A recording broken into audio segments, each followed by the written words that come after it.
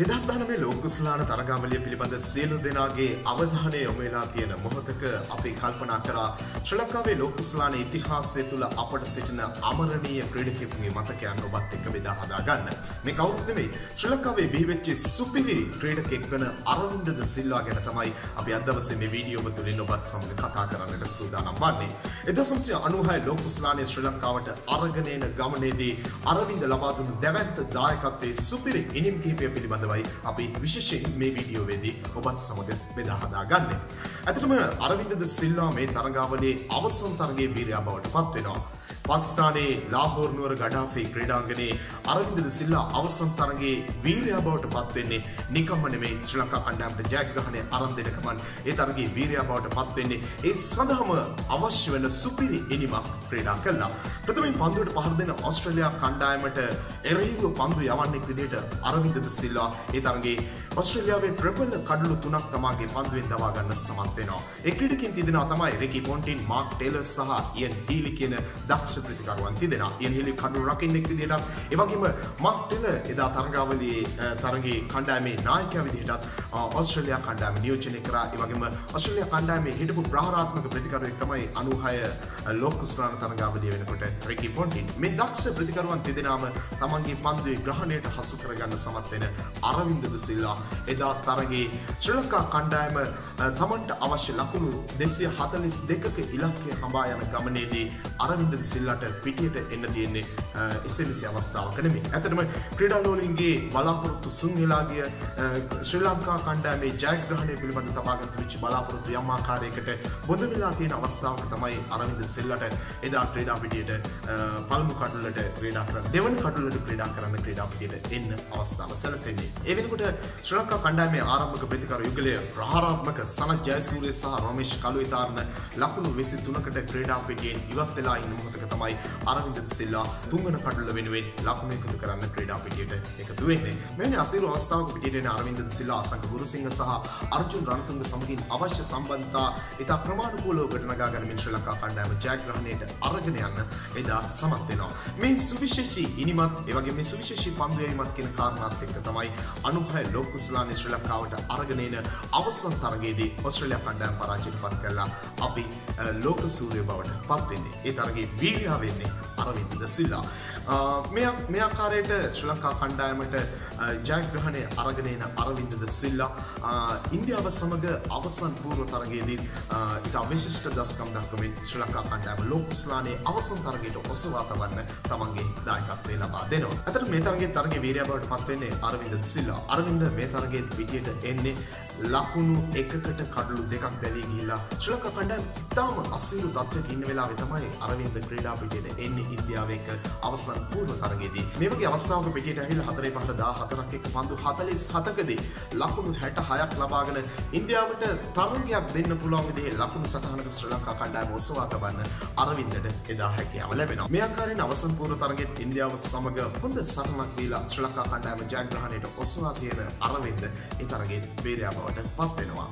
ඒවගේම ශ්‍රී ලංකාවට තවත් සුවිශේෂී තරගයක් වෙච්ච තීරණාත්මක තරගයක් වෙච්ච එංගලන්තයේ එක තිබිච්ච අර්ධ අවසන් පූර්ව තරගයේ වැඩ පෙන්නුවේ ප්‍රහාරාත්මක ප්‍රතිකරුවා සනත් ජයසූරිය. සනත් එංගලන්ත ප්‍රේක්ෂකින්ගේ සිහින සියල්ල බොඳ කර හරමින් ඉතා විශිෂ්ට ඉනිමක් ක්‍රීඩා කළා. ඒ තමයි ඒ තමයි පන්දු 44කදී ලකුණු 82ක් සනත් ගෙතිත්තේ ප්‍රහාරාත්මක ලකුණු සංඛ්‍යාවක් ශ්‍රී ලංකා කණ්ඩායමට සනත් වේදා එකතු කරන්න හැකියාව ලැබුණා. මේ තරගයේදීත් අරවින්ද පන්දු 30කදී ලකුණු 31ක් ලබා ගැනීමෙන් සනත්ට අනකිස්සහයක් ලබා දෙනවා මගේ පැත්තේ ඉඳලා. ඒ වගේම ශ්‍රී ලංකාව කෙන්යාව එක්ක පැවති තරගයේ ලකුණු 398ක් මේ ලකුණු 398 තමයි කාලයක් ජාත්‍යන්තර එක්දින ක්‍රිකට් පිටියේ කණ්ඩායමක් විසින් තනි ඉනිමක ලබාගත්තු වැඩිම ලකුණු සංඛ්‍යාව විදිහට තිබුණේ. මේ ලකුණු 398 කෙන්යා කණ්ඩායමට එරෙහිව ලබා ගන්න තරගයේදී අරවින්ද සිල්ලාගේ පිටෙන් දැවැන්ත කාර්යභාරයක් ඉෂ්ට කළා. මෙහිදී අරවින්ද පන්දු 115කට මුහුණ දීලා ශ්‍රී ලංකා ප්‍රතිකරුවෙක් විදිහට ලකුණු 145ක් තමගේ පිත්තෙන් රැස් කරන්න සමත් වනේ හයි පහර පහකුත් හතරේ පහර දා හතරකුත් එක්ක. මේ විදිහට අරවින්ද සිල්වා ලබාගතු ලකුණු එකසිය හතලිස් පහස් සහිත ඉනිම තමයි ලොකුසලාන තරගාවලික ශ්‍රී ලංකා ප්‍රතිකර ඉතිහාසය තුළ ලබාගත්තු පළමු ශතකය විදිහට වාර්තා වෙලා තියෙන්නේ. මේ තරගවලිය පළපෙල් තරගවලදී කෙන්යා තරගයට කලින් ශ්‍රී ලංකාව මුලින්ම මුහුණ දුන්නේ ඉන්දියා කණ්ඩායම එක තරගෙට. මේ තරගයේදී ඉන්දියාව ප්‍රබල ලෙස පිටි හසුරුවමින් ඔවුන් ලකුණු 271ක අසීරු ඉලක්කයක් ශ්‍රී ලංකා කණ්ඩායමට ලබා දුන්නා. ඇතන මේ තරගයේදී නම් අරවින්ද සිල්වාට තමන්ගේ පිටින් කණ්ඩායමට ලොකු සාධාරණයක් එහෙම නැත්නම් ලොකු සේවයක් කරන්න හැකියාව ලැබුණේ නැහැ. අනිල් කුම්ලගේ දක්ෂ ඉන්දිය දඟපන්දු වන අනිල් කුම්ලගේ පන්දුවක් ඉදිරියේ අරවින්ද සිල්වා ලකුණු 8කට ක්‍රීඩා පිටියෙන් ඉවත් වුණා. ඇතන මේ තරගයේදී අර්ජුන වුණත් හසානුත් එකතු වෙලා ලකුණු එකසිය තිස් එකක විශිෂ්ට සම්බන්ධතාවයක් ගොඩනගමින් තමයි ශ්‍රී ලංකා කණ්ඩායම පල්මුවටේ ඉන්දිය කණ්ඩායම් පරාජයට පත් කරමින් ජයග්‍රහණය කරන්න සමත් වෙන්නේ. ඒ බවත් අපි අනිවාර්යෙන් මතක් කරන්න ඕනේ. මේ විදිහට ඉන්දිය තරගයේ සියල්ල විසඳෙද්දී සිම්බබ්වේ කණ්ඩායම ඒ වෙනකොට දක්ෂ ක්‍රීඩකින් රැසක් සහිතව දක්ෂ සහෝදරයන්ගෙන් සැදුම්ලත් කණ්ඩායමක් විදිහට 96 ලෝක ස්ලාන තරගාවලියට එන සිම්බබ්වේ කණ්ඩායම සමග තරගයක් ජයග්‍රහණය කරන්නේ ශ්‍රී ලංකා කණ්ඩායම. මේ තරගයේදී දැවැන්ත කාර්යභාරයක් මේ තරගේ ජයග්‍රහණය කරා අරගෙන යන්න අරවින්ද ද සිල්ලාට හැකියාව ලැබෙනවා විතරක් නෙමෙයි ඒ තරගේ තරගේ වීරය බවට පත් වෙන්නේ අරවින්ද ද සිල්ලා. මේ තරගයේදී මෙතරගේදී ශ්‍රී ලංකා කණ්ඩායමට ලකුණු 229ක ඉලක්කයක් තමයි සිම්බාබ්වේ කණ්ඩායම ලබා දෙන්නේ.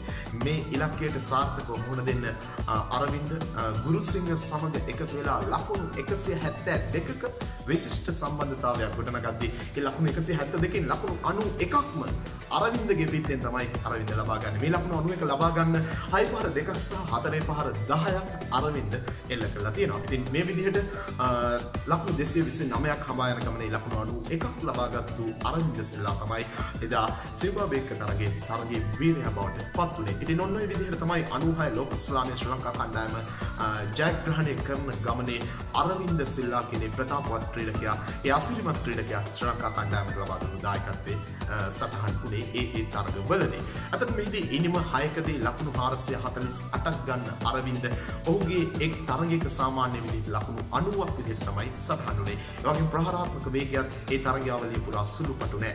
අතරම ලකුණු 108ක 108ක ප්‍රහාරාත්මක වේගයක් රඳවාගෙන තමයි අරවින්ද මේ සියලු තරගවලට තමන් දක්ෂ ක්‍රීඩකයෙක් බව ලෝකෙටම පෙන්වුම් කරමින් සියලු තරගවලදී ලකුණු ලබාගෙන තිබුණේ. ඒ වගේම අරවින්ද සිල්වා මේ මුළු තරගාවලිය පුරා ශතක දෙකකුත් අර්ධ ශතක දෙකකුත් තමන්ගේ පිටින් ශ්‍රී ලංකා කණ්ඩායමට එකතු කරන්න හැකියාව ලැබුණා. ඉතින් අපි මේ කතා කරේ 1996 ශ්‍රී ලංකාවට අභිමානවත් වසරක් වෙච්ච ලෝක කුසලානය ශ්‍රී ලංකා කණ්ඩායමට අරන් එන්න පුළුවන් වෙච්ච අවුරුද්දේ 96 ලෝක කුසලාන තරගාවලියේ අපේ කණ්ඩායමේ ජයග්‍රහණයට විශිෂ්ට දායකත්වයක් ලබා දුන්නු ශ්‍රී ලංකාවේ ලෝකයට බිහිවෙච්ච විශිෂ්ට සුපිරි ගණන් ප්‍රතිකරුවෙක් වෙච්ච අරවින්ද සිල්වා ගැන. ඉතින් ඒ කතා කරන්න මූලික හේතුව 2019 ලෝක කුසලානය පිළිබඳ අපි හැමෝම හීන තියාගෙන විවිධ විදිහේ අදහස් එක්ක අපි ඉතා ඕනෑකම ශ්‍රී ලංකා කණ්ඩායම දිහා බලාගෙන ඉන්නවා. ඉතින් මේ බලාගෙන ඉන්න ක්‍රිකට් ලංකා අපි අපිත් එක්ක එකතු වෙලා ඉන්න ඔබත් අපි සියලු දෙනාම හදවතින්ම සුබ පතමු.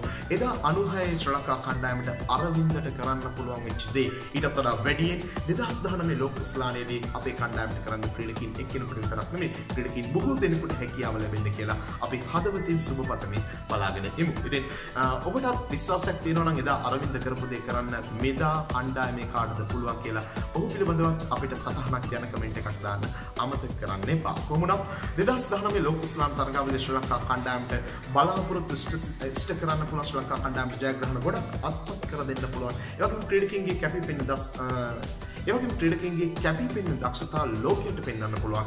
අභිමානවත් තරගයක් සුන්දර තරගයක්. ඒවගේම අනුහයි සුන්දර මතක සටහන වගේම දෙදස් දහනමයක් බොම අසිරිමත් මතක සටහනක් විදියට ශ්‍රී ලංකා ක්‍රිකට් ලෝඩින් ඔබ අපි සියලු දෙනා අතර රැඳෙන්න කියන ප්‍රාර්ථනය අපි දෙවිදිට කරනවා. එමනම් මේ වීඩියෝ දිනපතා බලන්න ඔබ තවමත් අපිත් එක්ක එකතු වෙලා නැත්නම් අපේ channel එක subscribe කරන්න. ඒ වගේම ක්‍රිකට් වලට කැමති ඔබේ යාළුවෙකුට බලන්න මේ වීඩියෝ එක share කරන්න අමතක කරන්න එපා. එමනම් ක්‍රිකට් පිටේ නැවුම් දෙස් අතරේ තවත් අලුත් වීඩියෝකින් හමුවනතුරු ක්‍රිකට් ලංකාවේදී ඔයාට සුබ දවසක්.